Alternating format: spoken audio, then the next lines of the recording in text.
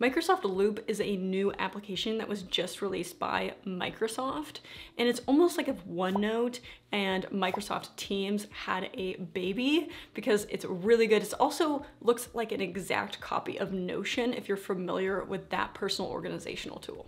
So in this video, we're gonna break down how I'm using Microsoft Loop to build a personal workspace and how I have the structure of it set up and why you would want certain workspaces separate and how to link to them and kind of some tips and tricks that I've discovered after using this app for a couple of weeks. So in order to get access to Microsoft Loop, you just have to download it from the Microsoft Store. So you just type in Microsoft Store, right? Click this and then type in Loop and just install it. Um, they also have a web version as well. You could just type in Microsoft Loop into Google search and just pull it up and sign in using your work credentials.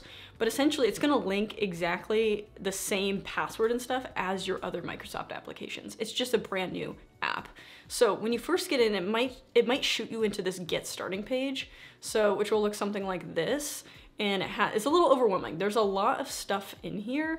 I recommend to get out of this and just click this loop part and just deleting this altogether. So I'm just gonna go ahead and delete this. And then it, it might take a couple minutes to update.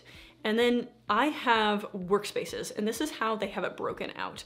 How to think about a workspace is you have to think, okay, how can I group these items, right? So I have a YouTube channel and I have a Rao Labs, which is consulting, and that's what I do on the side. And so it's they're different, right? There's gonna be different groups of people. I'm gonna be working with different people at my actual business than I am on my YouTube stuff. So that's how I kind of separate in my mind, or if you are working on a project with a couple of people. So let's say you're at the same company and you're working on a very specific project, then create a workspace for that project, and then you can always archive it later. later. So what I recommend is kind of building out the chunks of different workspaces and then build a personal workspace. So this is how I would do it.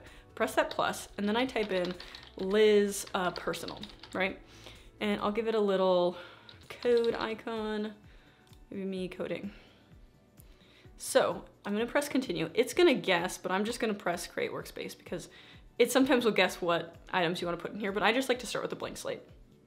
Now what I do is I will set up the PARA method, which became popular by Tiago Forte, right?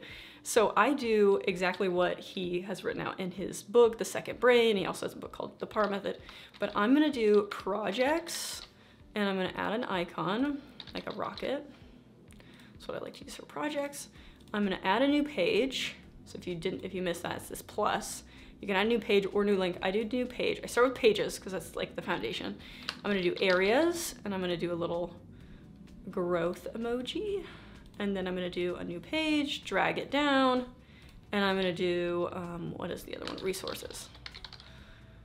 So a little hammer for that one and then new page, drag it down and he has this as archive and I'm just gonna use a file folder. Okay, so there's my PARA.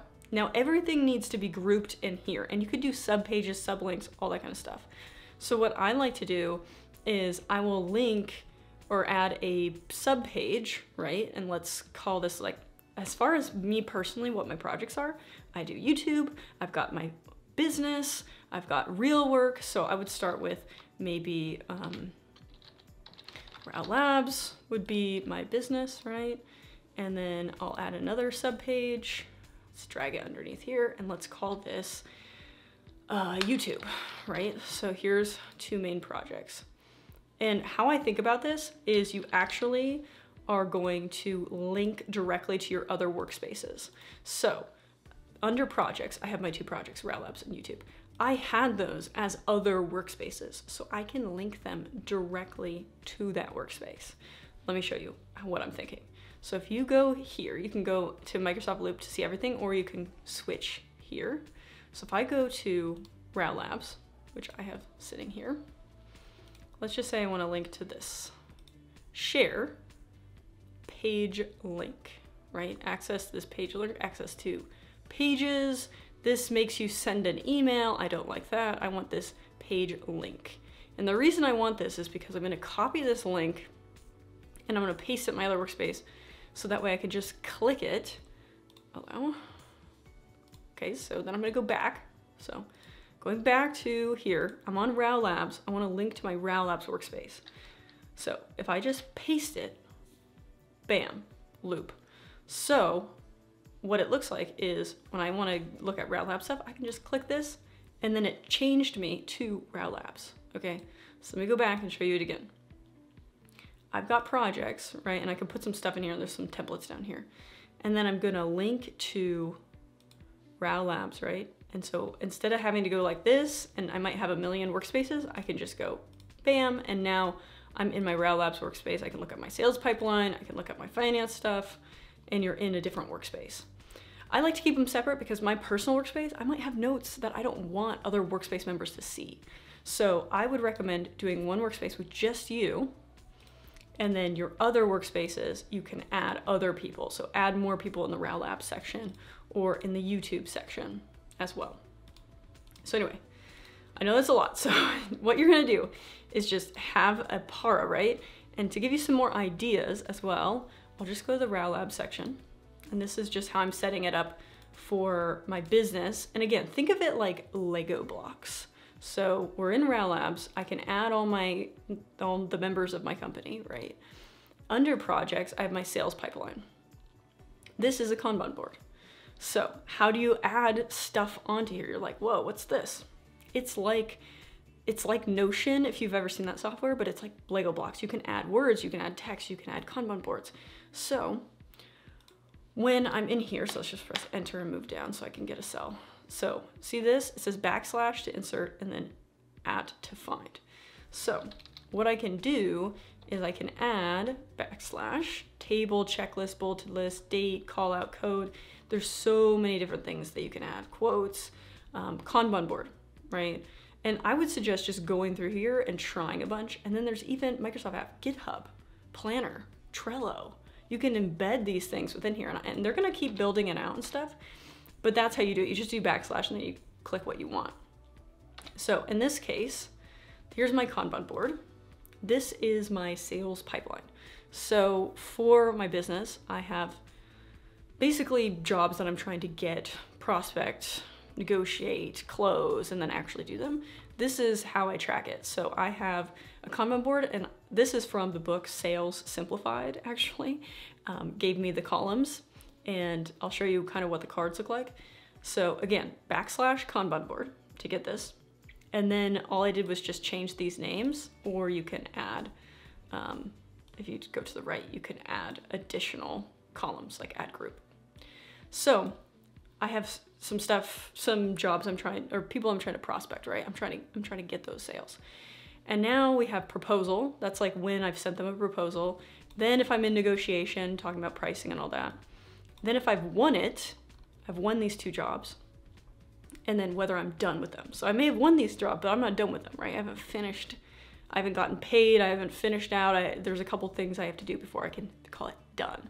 I also have graveyard, which I'll throw stuff into uh, because some projects die and then they come back. Like they come back like a, a year later and they say, hey, I have um, a pro, I have, I really want to do that project again.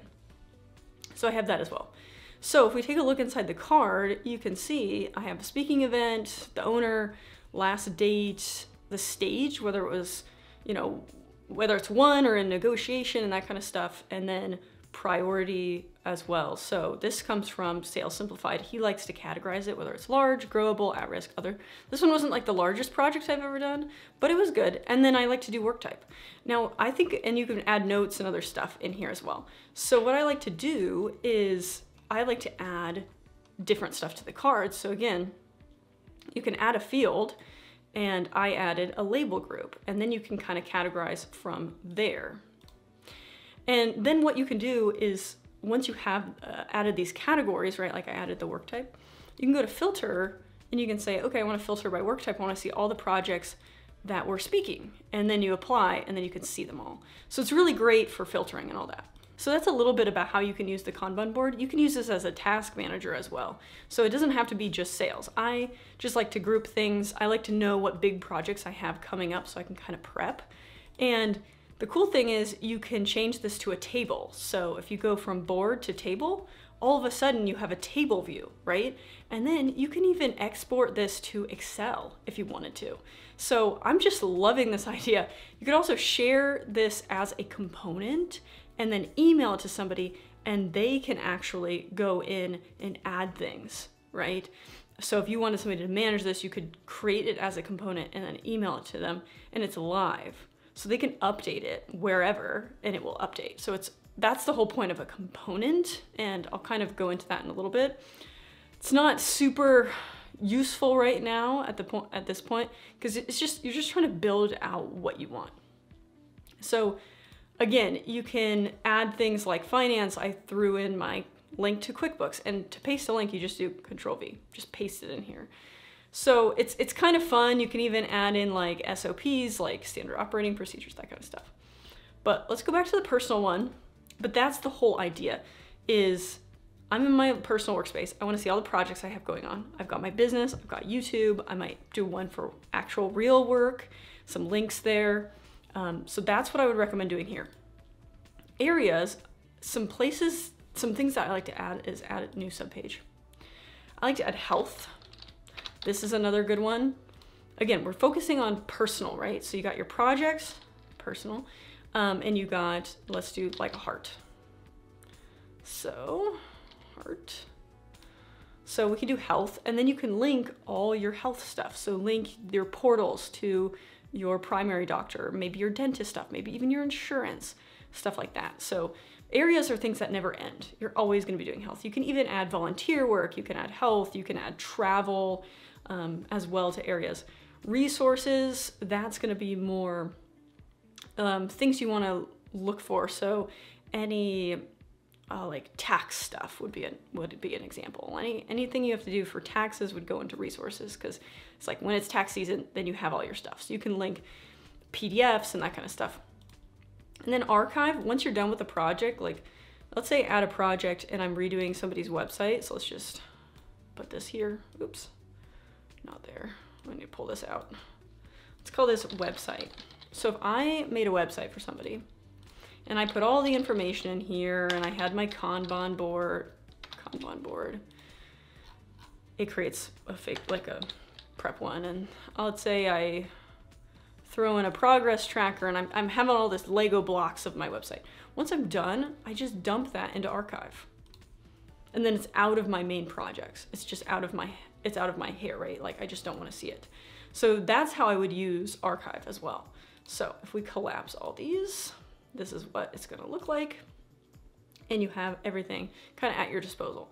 Another thing that's really cool that you can do within a Loop workspace is actually film a video directly inside. So you can click this record video and then all of a sudden it pulls up a video and you can allow it or block it and then it will save in your OneDrive. It's actually kind of insane. It says my camera's already in use, obviously, because I'm filming directly right now, but It's very cool, and I'll just close, but you can record your screen right away and then it will just paste it right in here.